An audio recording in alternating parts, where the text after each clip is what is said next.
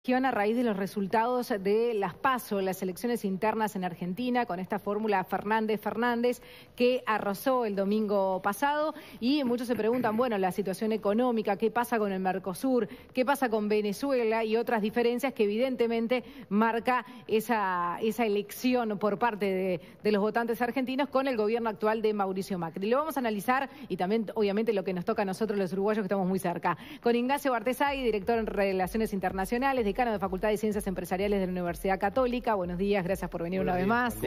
¿Cómo estás, Ignacio? Muy bien. Bueno, analizar un poco esta situación, qué se nos viene. Primero, qué, es lo que marca y qué es lo que puede pasar de acá a diciembre. Bueno, eh, es difícil de cambiar la situación, ¿no? Lo que se decía es que esta diferencia de tantos puntos, y por eso es lo que los mercados, es que Macri no va a poder dar vuelta a este resultado, ¿no? Esto puede cambiar, no se sabe, ¿no? Siempre existe esa incertidumbre. Sí, pero, desde el punto de vista de, los mercados, eh, casi que técnicamente lo que era un riesgo hasta el viernes fue una certeza el lunes. Fue una certeza el lunes, por eso reacciona como reaccionan, la devaluación tremenda que se dio, lo que tiene que ver con la caída del Merval histórica, el aumento del riesgo país, una inestabilidad muy fuerte que todavía continúa hoy, más allá de la intervención del Banco Central. Hay poca confianza en la fórmula Fernández. Hay poca confianza porque que bueno, es normal, si uno analiza la historia lo que ha pasado en las políticas económicas de los Kirchner, de, los de los Fernández, entendiendo que Alberto Fernández continuaría un poco alguna de estas políticas, esa es otra discusión. Piensa que tiene imagen de un poquito más moderado que, Cristina. Tiene imagen un poco más moderado, ha sido también parte de la estrategia de campaña, es decir, yo no voy a cambiar todo, no vengo a, a, refundar nuevamente Argentina. Es razonable que así lo plantee, porque si no, peor. es peor lo que puede llegar a recibir en el año que viene como país. ¿no? Entonces se complica esa situación. Eh, los mercados la entienden como de inestabilidad, de que puede llegar Argentina nuevamente al default, que va a incumplir con los bonos toda una estrategia que había cambiado Macri de recuperar la confianza internacional con los organismos internacionales. ¿La gente por qué iba a votar por Macri? Bueno, lo que ocurre es que, es que claramente hay una, una, lectura de que Macri no ha tenido éxito en su política económica.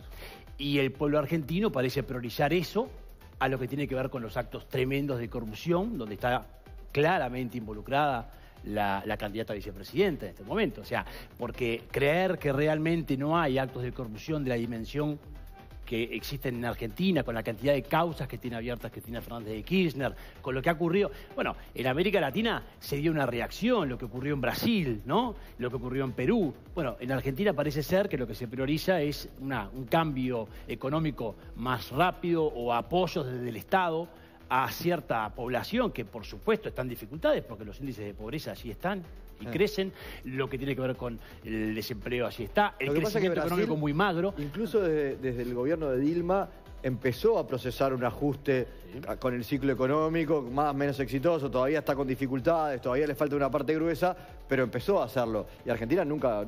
No llegó a levantar. Exactamente. Si Ni siquiera con Macri. Es verdad que parte del ajuste después lo hizo obligado por las circunstancias y en el acuerdo con el Fondo Monetario, después de que las circunstancias lo obligaron a evaluar. Pero antes Llegó tarde. nunca ajustó. Llegó tarde. Además, Juan Miguel, es verdad que... cuando, Ajustás, cuando llegás tarde y ajustás, el problema es doble. no, pero aparte... te, ajustan, no hay, una, hay un ajuste con el mercado, te ajusta el fondo. Hay un ajuste con impacto social, por supuesto. Eh, bueno, así lo que yo me parece que hay que alertar también con mucha preocupación, y esto es la imagen que damos desde el sur al mundo, ¿no? Es el respeto a las instituciones. Eso está bien, no se recuperó la economía argentina. Ahora, queda la sensación de que el gobierno de Macri lo que llegó a recuperar es la confianza en las instituciones, en el derecho, en la justicia. Es decir, aquí no puede pasar cualquier cosa. La preocupación que me da este mensaje de las elecciones del domingo pasado es, en Argentina puede seguir pasando cualquier cosa. Y esta es la lectura de los mercados. Y este es el panorama que nos podemos enfrentar en los próximos meses. Y desde el punto de vista institucional, ¿imaginás que puede seguir pasando cualquier cosa? También, digo, a un extremo ha llegado Jair Bolsonaro, que además va a ser socio en el bloque, de decir, y capaz que Argentina termina como Venezuela, porque cuando dice, capaz que a Río Grande del Sur vienen millones de migrantes argentinos, lo que está diciendo es eso. Aquí las expectativas es cuánto va a cambiar, cuál es el peso de Alberto Fernández con respecto a Cristina Fernández. Claro, que sea la contraparte. Si es una contraparte, si realmente él va a matizar todas estas políticas. Porque si tú te basas en los hechos, yo no creo la confianza de lo que puede llegar a ocurrir. No creo en el respeto de las instituciones de parte de los Kirchner. Perdón. a los hechos me ya lo dijo Mujica, la, vieja pero que el tuerto. Bueno, lo digo, claro, lo dijo... Eso es como socio para Uruguay, que es otro tema y que... Pero como y, como socio para Uruguay preocupa porque de vuelta a los hechos, cuando dice cuál es el impacto para Uruguay. Bueno, Ahí tenés que dividir dos cosas, la agenda bilateral y la agenda regional. La bilateral, los hechos que te demuestran. Que los Kirchner te bloquearon totalmente en contra del derecho internacional y de derecho, te bloquearon los puentes, ¿cuánto tiempo?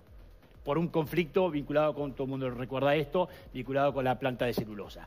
Te firmaron un decreto que te bloqueaban los tránsitos en el puerto, afectando la logística. Te trabaron el comercio con todo tipo de medidas, declaraciones anticipadas de, importación, eh, el, turismo.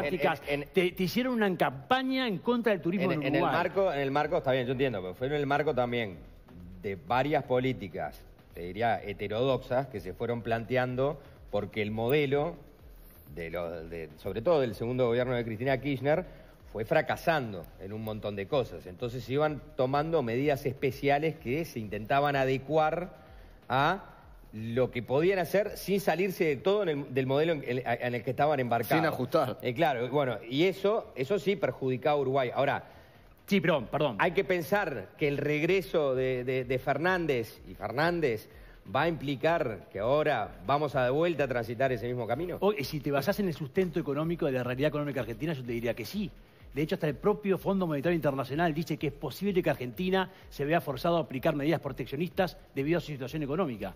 Es verdad que entre Kirchner, Néstor y Cristina Fernández de Kirchner hay una diferencia. Ella lo que hace es profundizar un modelo económico que se había planteado Néstor Kirchner, que tiene que ver con el proteccionismo que tiene que ver con una relación muy particular hacia los organismos internacionales, hacia las potencias internacionales. Entonces, estas medidas que estamos diciendo, eh, bilaterales en contra de Uruguay, en lo que tiene que ver con el turismo, la logística, el dragado de los ríos, recuerde las dificultades para la administración de los ríos conjuntos, lo que tiene que ver con las medidas proteccionistas. Bueno, a eso agregale... Es el peronismo más clásico, ¿no? Con el que Uruguay siempre tuvo problemas. Siempre tuvo problemas. Una economía cerrada, eh, el empresariado nacional como baluarte de este, un mercado interno muy fuerte que y tiene. la desconfianza de los grandes centros de poder mundial. Exacto, que lo tiene, que es legítimo ese mercado interno, pero claro, que tú ya estás... Había, Argentina está inmerso en la economía internacional. ¿Y qué pasa con el Mercosur? Y bueno, el Mercosur es una, una, realidad totalmente distinta, porque ahora, date cuenta que el Mercosur había logrado tener ciertos consensos básicos en lo más importante, que es menos burocracia, menos politización del bloque, más apertura del mundo, por eso la agenda externa más dinámica, el acuerdo con la Unión Europea, etcétera, y un consenso básico con Venezuela. Porque más allá de que Uruguay siempre estuvo entreverado, bueno, Uruguay cuando tiene que suspender a Venezuela de Mercosur lo hace a través del protocolo de Ushuaia. Ahora, con, los planteos que ha hecho, por supuesto, la fórmula Fernández Fernández, van en contra de todo esto. Quieren un Mercosur más político, un Mercosur más cerrado, no están de acuerdo con el acuerdo con la Unión Europea y no, por supuesto, que apoyan a Venezuela y también entra aquí en, un poder bastante interesante de Bolivia, que recordemos está al borde de ser socio pleno del Mercosur y apoya plenamente a los Entonces se rompe el Mercosur y con una tensión totalmente inminente entre Bolsonaro y Alberto Fernández. ¿Se rompe el Mercosur? ¿Puede terminar realmente en que se rompa el Mercosur? Esperemos que Bolsonaro y Alberto Fernández, si termina ganando la presidencia, estén a la altura y eso no ocurra. Pero puede ocurrir, porque de hecho... ¿Quién asume la presidencia en diciembre? Se puede dar ¿Quién asume Argentina. Ah, justo. No, no, eh, Argentina no, Brasil. Ah, Brasil. Sí, Paraguay. O sea que ahora el presidente ah. es Argentina. Exacto, ahora, no, ahora, ahora tiene la Brasil. Brasil. Brasil. Argentina se la pasó a Brasil ahora ah, bien, ah, Pero ¿qué pasaba? En estos seis meses eh, es, bien importante porque se iba a dar la reforma del Mercosur. Existía el consenso, entonces se iba a bajar los aranceles, se iba a abrir más al mundo, se iba a aprobar, se pensaba que íbamos a cerrar eh, incorporar, dar los pasos necesarios para incorporar el acuerdo con la Unión Europea. O sea que todo esto puede ser, se pone en suspenso.